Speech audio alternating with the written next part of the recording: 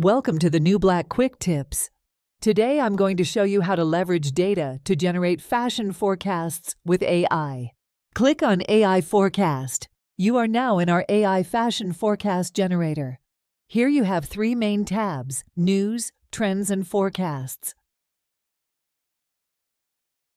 For each tab, you can see the data of some predefined fashion topics. For these predefined topics, the data is automatically updated daily. For example, trends from fashion designers, celebrity fashion news, or the latest fall winter collections. All these elements are available in Global Fashion Data. But you can also perform data searches on your own topic or trends. For example, let's search for data on the Prada brand.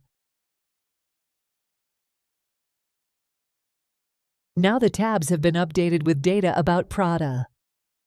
You can check the most relevant recent news on the web.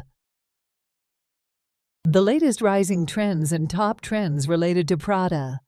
And in the Forecast tab, the interest in the brand over the last five years, and below, an AI forecast over the likely next five years, according to all the data collected on the brand.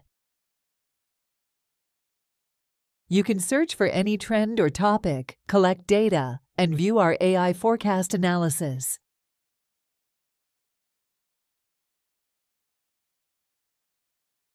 That's it for this quick tip.